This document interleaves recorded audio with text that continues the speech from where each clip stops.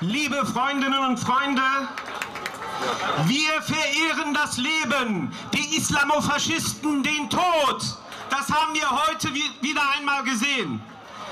Ich möchte euch alle im Namen der kurdischen Gemeinde Deutschlands herzlich begrüßen und vor allem die solidarischen Grüße der deutsch-kurdischen Community überbringen.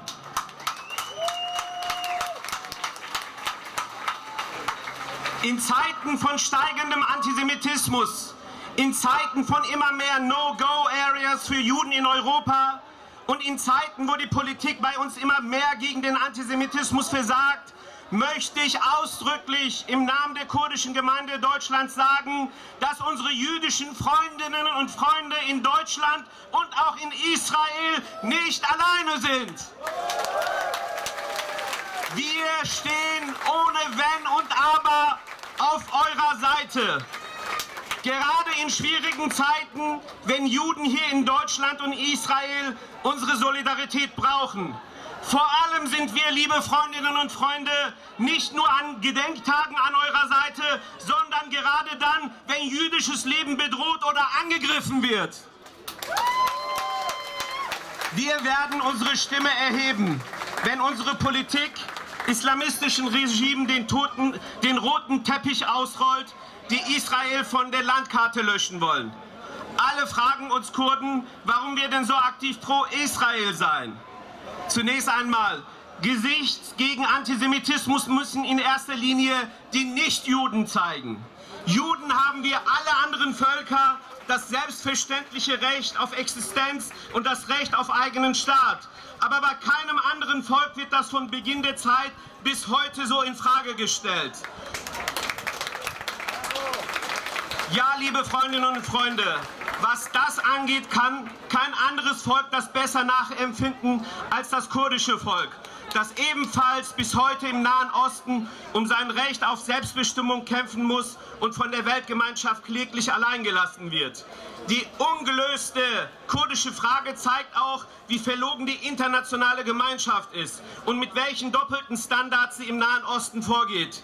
Nur ein Beispiel. Die Türkei marschiert völkerrechtswidrig im kurdischen Afrin im Nordwesten Syriens ein, obwohl nicht eine einzige Rakete von dort aus in die Türkei abgefeuert worden ist. Deutschland schweigt, die EU schweigt, die UN schweigen, alle schweigen bis heute. Über 1000 Raketen wurden allein 2018 auf Israel abgefeuert. Aber Deutschland, die EU und die UN kritisieren pausenlos den Staat Israel, weil er, weil er seine Existenz verteidigt. Das ist beschämend.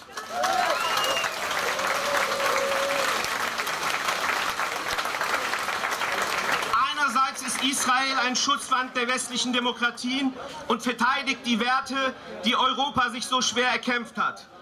Andererseits verpasst Europa Israel eine Ohrfeige nach dem anderen auf dem UN-Parkett.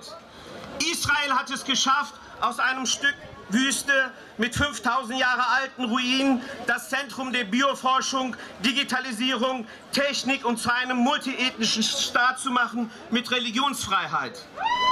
Demokratie und Rechtsstaat. Was macht man nebenan in Gaza? Steinschleudern und Feuerbälle bauen wie vor 5000 Jahren. Solange die Hamas die totale Vernichtung aller Juden und die Auslöschung Israels will, ist nicht, der, ist nicht Israel der Aggressor. Israel, Israel ist das einzige Land im Nahen Osten, wo man nicht verfolgt und ermordet wird, wenn man schwul ist, wo die politische Opposition keine Angst um Leib und Leben haben muss, wo Juden, Christen und Muslime gemeinsam bei den Sicherheitskräften in den höchsten Gerichten, in Schulen und im Parlament zusammenarbeiten, wo Religions-, Kunst- und Wissenschaftsfreiheit herrschen, wo emanzipierte Frauen alle Religionen kritisieren dürfen und heiraten dürfen, wen sie wollen, wo auf den Straßen Demonstrationen gegen die Regierung und schwule Paraden stattfinden dürfen, wo Araber, Israelis, Juden und Muslime die israelische Ausgabe von The Voice gewinnen, wo Tausende offen für den Frieden demonstrieren, ohne dass sie dabei laut Tod den Feinden skandieren. Israel ist die einzige Demokratie inmitten von Unrechtsregimen, eine Oase der Freiheit in einer feindlichen Umgebung. Schon alleine deswegen darf Israel niemals fallen, denn mit ihr würde die Freiheit und Demokratie fallen.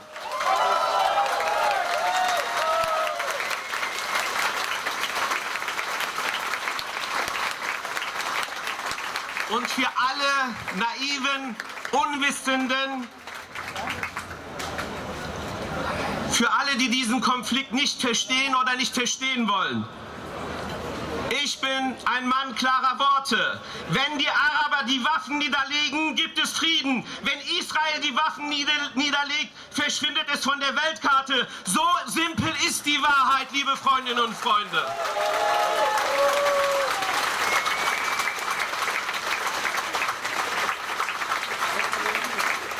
Die Heuchelei der deutschen Politik, an Gedenktagen von Staatsräson zu sprechen. Aber wenn es in der Praxis darauf ankommt, Israel allein zu lassen, ist für mich als deutschen Staatsbürger nicht hinnehmbar. Deswegen bin ich auch heute hier. Es ist unerträglich zu wissen, dass meine Regierung und mein Staat Geschäft mit dem Mullah-Regime in Iran macht, der regelmäßig zur Vernichtung Israels aufruft. Iran will die Bombe, um Israel auszulöschen. Und Deutschland stellt sich in dieser Situation nicht an die Seite Israels, sondern gegen Sanktionen gegen den Iran. Das zeigt mir, dass Deutschland doch keine endgültigen Lehren aus dem Holocaust gezogen hat. Wenn ein Land ohne Wenn und Aber in dieser Frage heute an der Seite Israel stehen muss, dann ist es Deutschland, liebe Freundinnen und Freunde.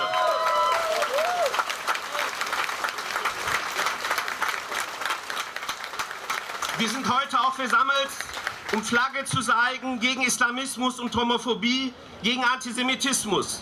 Ich wundere mich nur, wo die vielen deutschen Antirassisten sind und wo unsere Freunde von der Wir sind mehr Fraktion heute sind, die sonst ständig bei jeder Debatte um Migration und Islam sofort die Rassismuskeule schwingen. Aber wenn es heute darum geht, gegen Antisemitismus und Islamismus Flagge zu zeigen, die, die von der Erdoberfläche verschwunden sind,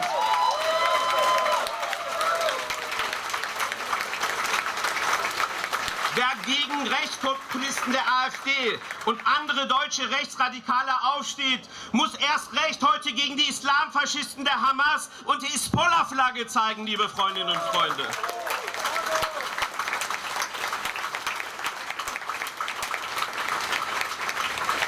Wer sich in Deutschland mit Rechten solidarisiert, zusammenarbeitet oder sogar mit ihnen nur redet, stellt sich außerhalb des demokratischen Wertekonsens.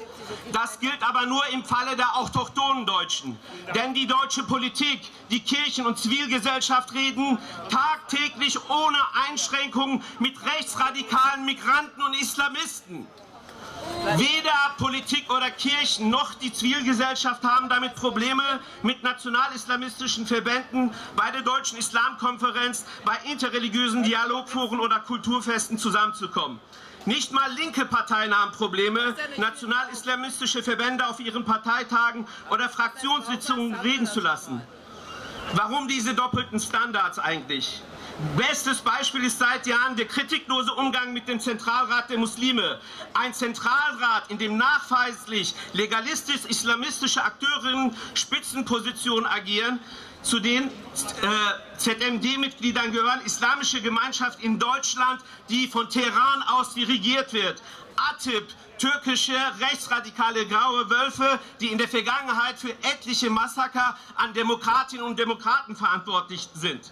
Experten von Wissenschaft und Politik bezeichnen den Zentralrat der Muslime als gemeinsames Projekt von in Deutschland im Exil befindlichen Teilen der syrischen und ägyptischen Muslimbruderschaft. An Gedanktagen erinnern wir uns den toten Juden.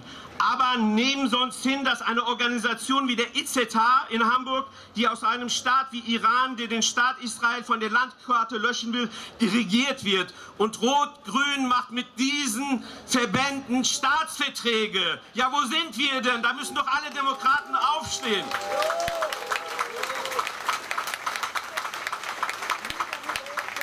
Alle Demokraten in Deutschland verlangen, dass Migranten alle politischen Rechte bekommen sollen. Aber man darf von ihnen anscheinend nicht dieselben demokratischen Standards einfordern oder bei ihnen dieselben demokratischen Maßstäbe anlegen.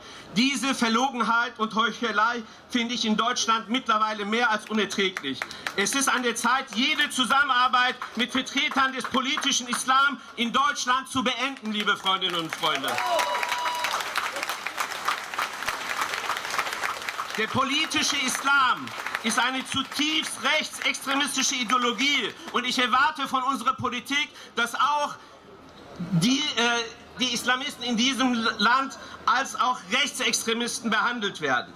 Wir appellieren an die deutsche Politik, nur noch Organisationen und Akteure als Gesprächspartner zu, akzeptieren und zu unterstützen, die für ein freiheitlich-demokratisches Grundverständnis des Islam stehen. Diese sollten wir deutlich mehr fördern als bisher. Im Februar hat Bundestagspräsident Schäuble bei der Buchvorstellung Der politische Islam gehört nicht in Deutschland Folgendes gesagt hinnehmen muss und darf der freiheitliche Staat nicht alles. Nicht alles, was ein Glaube fordert, darf unter dem Grundgesetz auch verwirklicht werden. Das ist das Entscheidende. Allerdings säkularitätsrelevante Streitthemen wie Kopftücher vor Gericht, getrenntes Geschlechterschwimmen in der Schule, Kreuze in Klassen und Amtsstuben sind Konfliktfelder, die jeweils neu auszuhandeln seien in der gesellschaftlichen Praxis durch Rechtsprechung und durch den Gesetzgeber. So Schäuble. So blieb die Rede noch viel zu ambivalent und politisch deutlich um parlamentarische, allgemeingesellschaftliche Anschlussfähigkeit nach allen Seiten bemüht. Ich möchte Herrn Schäuble antworten. Wenn es um unsere Freiheit und Demokratie, wenn es um die Gleichberechtigung der Frau und um Antisemitismus geht, gibt es nichts zu verhandeln. Es gibt unverhandelbare Werte. Ja, ich mach Schluss. Dazu gehört für Deutschland auch die Verteidigung. Dazu gehört für Deutschland auch die Verteidigung des, des Existenzrechts des Staates Israel. Wer dies nicht akzeptiert, hat sich das falsche Land ausgesucht. So klar muss das sein, wenn wir nicht gegen den politischen Islam verlieren wollen. Auch für diese Klarheit, Klarheit stehen wir heute zusammen. Ich möchte meine Rede mit einem Zitat von Schiller beenden. Der Menschenwürde ist in eurer Hand gegeben. Bewahret sie. Sie singt mit euch, mit euch wird sie sich heben. Und die Menschenwürde von allen Menschen werden wir als kurdische Gemeinde Deutschland immer und überall verteidigen. Shalom Israel!